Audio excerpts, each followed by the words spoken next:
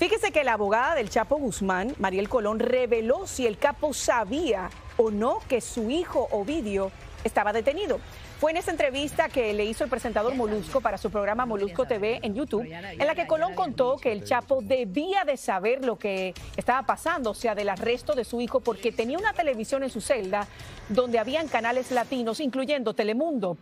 Pero no solo eso, también le preguntaron a la abogada si no le dio miedo defender a un narcotraficante tan poderoso, a lo que ella contestó que no, porque el Chapo siempre estuvo involucrado y bien informado de cómo se estaba llevando a cabo su caso.